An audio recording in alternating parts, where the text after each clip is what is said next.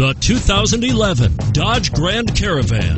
The Dodge Grand Caravan received the government's highest front and side crash rating of five stars. Its vast interior is widely praised, with an innovative seating arrangement, versatile cargo storage, and enough entertainment features to keep the kids entertained on road trips. And is priced below $15,000. This vehicle has less than 55,000 miles. Here are some of this vehicle's great options third row seat, four wheel ABS, power steering, driver airbag, adjustable steering wheel, cruise control, aluminum wheels, front floor mats, four wheel disc brakes, keyless entry.